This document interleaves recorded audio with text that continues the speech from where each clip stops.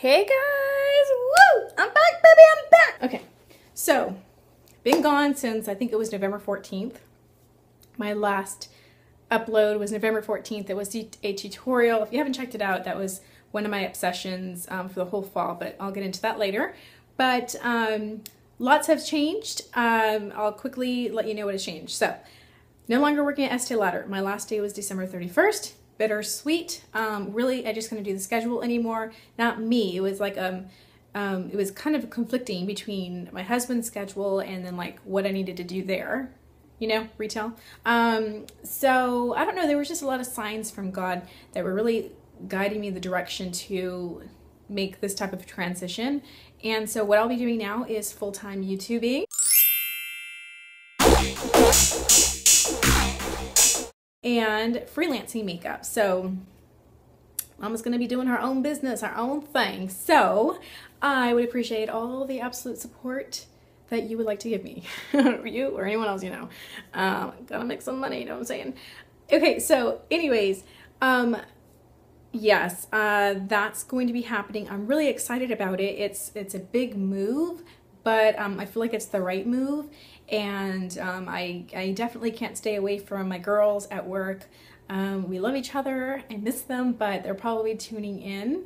So I want to say holla, hello girls. Um, I have other updates for you coming soon, but um, I didn't want to do like just one video all about this. So I figured why not um, kick the new year off with a good old favorites video because I didn't get to do one for November course, didn't have one for December yet, but it's not too late to do December, so why not just get started and let's just get on with it, shall we? Okay, first things I gotta let you all know about that I'm really excited because it's a great affordable option, and since I won't be working anymore and basically um, having to make my own money, I'm gonna be hustling like a, I don't know, I'm just gonna be hustling like a hustler, you know? Hustler, baby. This kind of happened by accident. So I ran out of um, makeup wipes. I was just so busy with work and everything with the holidays. And um, all I had nearest to me were Xander's, my son's, um, wipes, baby wipes, right? So these are the Pampers Sensitive ones. I used to use these back in the day, early 20s, and I loved them. And then all of a sudden, my skin started getting really dry. It could have been a number of reasons or different factors contributing to that, but I stopped using these because I thought maybe, I don't know if it was the sensitive ones I was using. I just know I used to use baby wipes all the time. Now, I'm so glad that happened because you can get a pack of these for like $2 and some change, or you can get like a three pack of them for like $6 or something like that.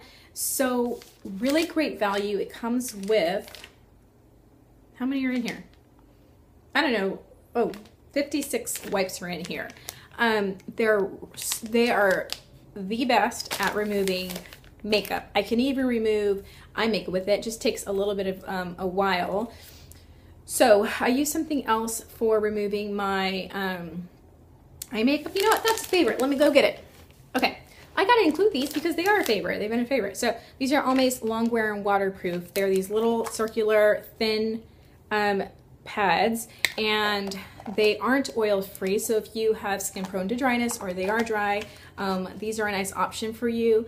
Um, they don't sting me whatsoever. They're really gentle, but yet they remove this stuff really well. Now they do leave like this residue, like an oily residue. So that's why I use um, these.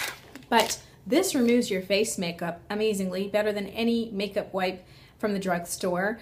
Um, you know, they're just so wet and, and saturated and they're just great. I feel like my skin's really clean after I wipe my stuff off with them and what a great value. So seriously, give these suckers a try. Ain't just good for you, baby. They're good for your beauty regimen too. You know what I'm saying? Okay, next, let's go on. Uh, all right, so for foundation, um, I have switched and I have a whole routine going up and I should have brought those.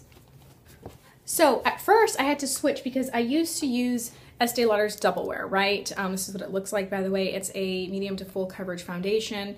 Really perfection for warm months because I'm normal combo skin, so I will get oily in my T-zone.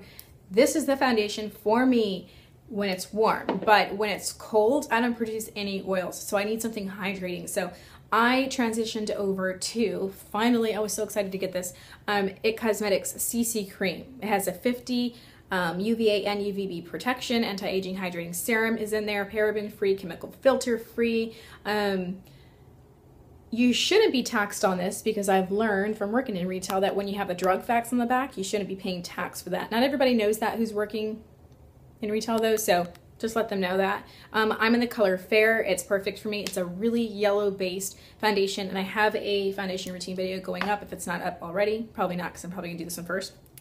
So that I put on on top of um, Revlon Color Stays. They're liquid. I'm in the dried or normal combination skin. This is the shade Buff but I could go up one because it's a little bit too pink. I want something more yellow because I have yellow undertones. So I put this on top of it. I hate to have to use two things because this is hella expensive um, for a CC cream, but I mean, I yeah, it's just, I would totally do it anyways. I'm to be on like a tight budget, girlfriends, but um, this is worth it. It's totally worth it. If you can somehow get it, get it. If you have um, dry skin, um, aged skin, mature skin, wrinkles, lines. It is fantastic. Um, so I put it on top of this just because, um, like I said, that one gives me more yellowness, but they're both full coverage and this is a long lasting as well. And I put this also because I want the long wear of it. Okay, to apply that I've been using the Real Technique sponge. This is a perfect, not a dupe, but it's a perfect substitute for the $20 beauty blender. It's around $20 and those beauty blenders you can get different places, but this you can pick up at Ulta and it is like heaven sent. Genius, genius, genius. This right here, um, like you're supposed to wet it and squeeze everything out. So right now mine is wet and squeezed out. And this right here, this flat part right there is perfect for getting foundation on. That's how I've been doing it since I've been using this. I used to use this right here, which you can also get at Ulta, and it's still, they're both the same texture. Um, because of its shape, this one has a little bit more density to it. This one is almost like like masa, like dough or something when you play with it because it takes a while to get back to its original form.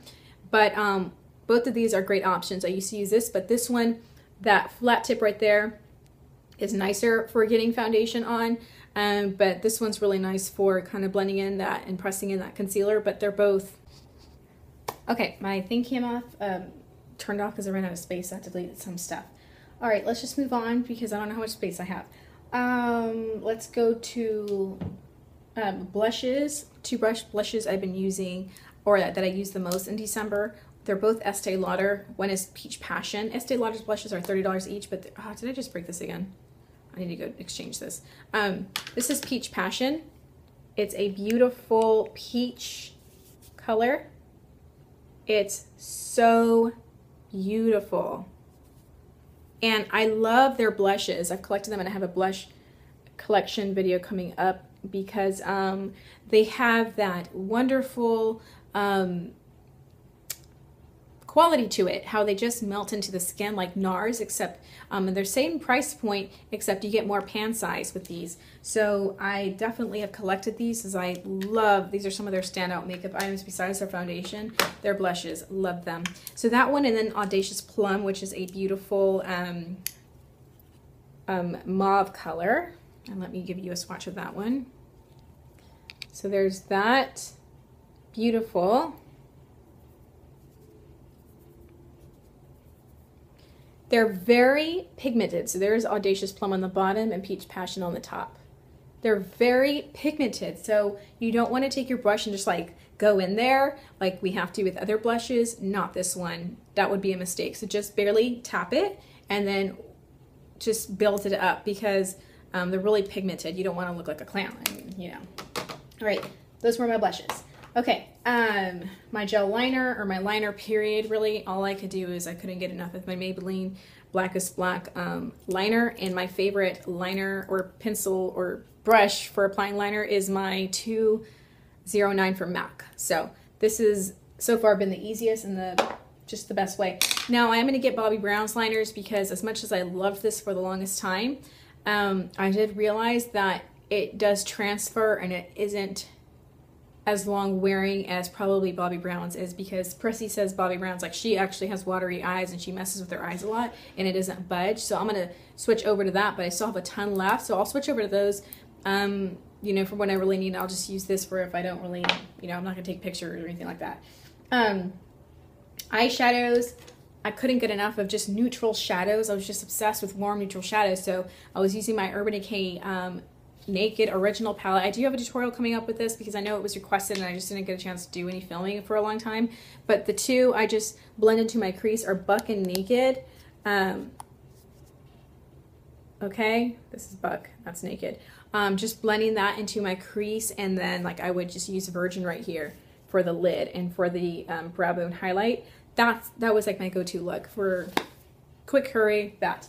Um, I also really enjoyed though, I got this last year. Um, it, it, was limited edition last year, and it was Maybelline's Eye Studio Quad in Cozy Cashmere. Gorgeous. Dupes right here for some matte colors. Um, very warm. This one right here is, has some fallout, but it's gorgeous for the um, lid. It's very, they're all very pigmented, but look at that. It's just stunning. It's beautiful. I love it. There's a swatch of that right there. See that? See that sheen? Oh, beautiful. And then these other ones right here. So if you got this and you've neglected it, oh my God, I just love them. Look how pigmented, look how beautiful and warm. Love them. So yeah, those were, I just couldn't get enough of those either. It was like I had to fight myself to use something different, but I didn't want to. Bronzer, nothing new, my Too Faced Chocolate Soleil. I love it, it's my holy grail bronzer. Um, this is what it looks like. Oh, you can't see it, let me use, let me use this. So that's what that looks like. It's perfect for me. I do have yellow undertones, so just so you know. Um, but I love it. Okay, my um, lid primers. At first, I was really stuck on Lancome's lid primer called, dang, hello, called Nude. But it is a little bit too on the like almost peachy side, like a little bit too dark for my skin tone. But I was using it because of the quality of it, because it's a nice tacky base, like um, like the NYX Jumbo Pencil and Milk or like the matte paint pots, MAC paint pots. So I've been really liking Soft Ochre. So I kind of transitioned to the second half when I got this because it's very yellow toned and I love that. So loving those. If you don't have this brush, you need to go get it. It's Sonia Kashuk's number 109. Just, I am so in love with this brush because you can do so much with it. Um, Oh, I just love it so much. It tapers at the top. It has the, just the perfect amount of fluffiness in it. It's perfect for the crease. It's perfect. You could do a whole look with this. You wouldn't want to, but you could. You know what I mean? It's just gorgeous. I love this. I would buy it in a second. I'm probably going to buy a backup. I just love it so much. You got to get it. I know Aileen got it from um, Amelia. Woo, I forgot her name. I'll, I'll list her down below. And she likes it. So seriously, you won't regret it. Go get it. Um, it's it's a must-have in the collection. It is. It reminds me of the number seven from Lancome. So if you have that or you've seen it, it reminds me of that. Except Lancome's is a little longer, slightly fluffier. Okay. Studio Gear has one too like this, except Studio Gear is, is a little bit fluffier. Um, okay, lips, and then we're done. Oh, okay. So my favorite perfume from Lancome, and right now it's just been my favorite perfume lately, is the La Vie Belle. I have a little sample tube right here. I love it. I'm gonna spray it right now because I haven't sprayed it yet. It's a warm, it's a warm, sweet vanilla smell. That's what it smells like. So if you like warm vanilla sugar from Bath & Body Works, you're gonna love that. Um, and then lips, let's get to lips. And then we're almost done. Okay, so when I wanted a bright, bold, vampy lip, um, Estee Lauder has Stay Mulberry. It was discontinued, but they might have some left in stock. So this is Stay Mulberry. I love Estee Lauder's matte lipsticks. Um, they don't feel super drying and they really last really well, especially over a lip liner. So that's Stay Mulberry. Oh, gorgeous. Love it. Um, and then this is Wine from Estee Lauder. It's a beautiful wine color. Um, theirs comes with a little brush on top of there. I don't use that brush though, but um, this is Wine gorgeous matte wine color right there underneath it. Love their liners, really nice, long wearing. Um, and then this is Matter of Fact, which shouldn't be a surprise for me. This is from L'Oreal's La Matte. And oh, these are just awesome. Oh, look at that. It's the very bottom one right here. Beautiful, love it. Don't like the smell of it because it smells like traditional L'Oreal lipsticks, but that's okay. I love the color, it's okay. Another lip I couldn't get away from, and I'm wearing this exact lip combination today. It is the Caramel Lip Liner by, Est I mean, uh, Mary Kay. And that's what that looks like swatched on the very bottom. Beautiful caramel shade to line that lip, make it look powdier. And then um, I fill it in with Revlon's Matte Balm in Complex. So then I fill it in with this right here. Give a really nice pouty, it's like a peachy nude. Gorgeous. And then I go in again, baby dolls, with um, Peach Petal from Revlon Super Lustrous Gloss Line. So there's that right there. Ah, oh, you gotta have this. If you don't have it, you gotta go grab it. That is a must in a collection. Oh, love that. And then the very last thing, I can't, I can't finish this without letting y'all know, I love this makeup brush cleaner by Estee Lauder. I love that it comes with a pump. You get a lot in there. I've had this for a while, a few months already. I use it all the time, every day pretty much to clean off some brushes. We use this at the counter. It lasts a long time. You get in there, how many fluid ounces? You get 7.9 fluid ounces or 235 milliliters. It's the same size as the MAC cleaner and I wouldn't doubt if it's the same stuff. I never used MAC, so I don't know but because you know Estee Lauder owns MAC, so it may be made in the same company or something. But I love that this one actually comes with a pump because MAC's doesn't. So it's fifteen dollars. If you haven't tried it, try it. If you're in the market for a makeup brush cleaner, it's wonderful. Okay, I think that's it. I think that's it. So thanks so much for hanging out. I look forward to hearing from you guys. Any requests, comments, or anything like that, you just want to say hi. Thank you so much for your support and for hanging out with me. I love the company, and I'll um, see you all in the next video. Keep in touch via Instagram, Facebook, Twitter, Keek, Pinterest, whatever. All right, bye.